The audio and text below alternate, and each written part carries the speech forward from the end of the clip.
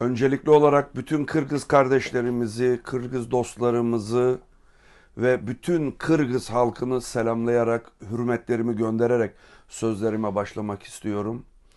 Türkiye çok büyük bir felaket yaşadı. Büyük bir depremle karşı karşıya kaldık. Ülkemizin 10 tane güzel şehri adeta yerle bir oldu. Binlerce insan öldü. Yüz binlerce insan toprak altında kaldı. Büyük bir acı yaşandı ve halen bu acı yaşanmaya devam ediliyor. Türk devleti büyük bir devlettir. Türk milleti büyük bir millettir. Milletimiz ve devletimiz el ele bu felaketi atlatmaya, bu felaketin yaralarını sarmaya çalışıyoruz. Ama tabii ki insan böylesine zor bir günde sevdiklerini, dostlarını, kardeş halkları ve bütün insanlığı yanında görmek istiyor. Depremin olduğu ilk andan itibaren gerçekten komşularımız Yunanistan'dan İran'a, Rusya'dan Amerika'ya kadar bütün dünya halkları, ülkeleri Türkiye'ye yardım elini uzattılar. Bu bizi çok mutlu etti, duygulandırdı ama tabii ki insan böyle zor bir dönemde kardeşlerini de yanında görmek istiyor. O yüzden Kırgızistan Cumhuriyeti'nin, Kırgızistan devletinin, Kırgızistan halkının bu zor günümüzde yanımızda olması, dostluk elini uzatması, kardeşliğini göstermesi bizim için çok değerliydi. Özellikle Kırgızistan Cumhurbaşkanı'na, Sayın Cumhurbaşkanı'na çok teşekkür ediyorum. Kendi adıma ve milletimiz adına deprem haberini duyar duymaz hemen Türkiye Cumhuriyeti'nin Kırgızistan'daki büyükelçiliğine gitti. Desteğini gösterdi. Anında Kırgız kurtarma ekibini Türkiye'ye gönderdi.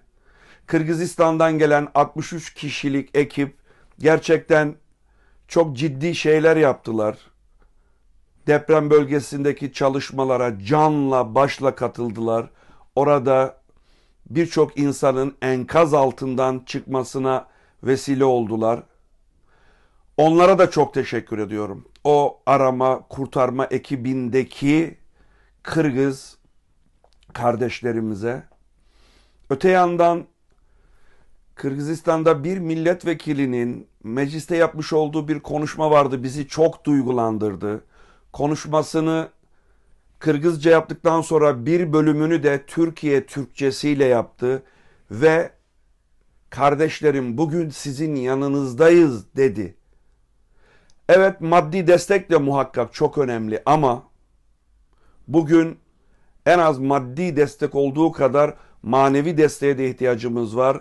O Kırgız milletvekilimizin Kırgız meclisinde kardeşlerim yanınızdayız ifadesi bizim için gerçekten çok değerliydi.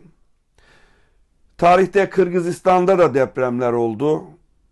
Türk milleti kardeşlerine yardım elini uzattı. Bugün aynı acıyı Türkiye yaşıyor. Tabii ki Kırgız kardeşlerimizin de yardım elini uzatmasını bekliyoruz. Dediğim gibi Türk milleti ve devleti büyük bir millet, büyük bir devlettir. Maddi yaralarını da, manevi yaralarını da sarmasını bilir. Bu güce, bu imkana sahiptir. Ama manevi olarak özellikle kendi kanımızdan, kendi canımızdan, kendi soyumuzdan, kendi dilimizden olan kardeşlerimizi, Kırgızları yanımızda görmek bize hem büyük bir moral verdi ve bu manevi ve maddi desteğin devamını da tabii ki bekliyoruz. Çünkü Kırgızların uzatacağı el bizim için çok daha özel anlamlar ifade ediyor. Diyorum buradan ölen, bütün depremde ölen vatandaşlarımıza Allah'tan rahmet diliyorum. Yaralılara tez zamanda şifa diliyorum ve bütün Kırgız halkını Türk milleti için, depremde bu acıyı yaşayanlar için, ölenler için dua etmeye davet ediyorum. Allah emanında kalın.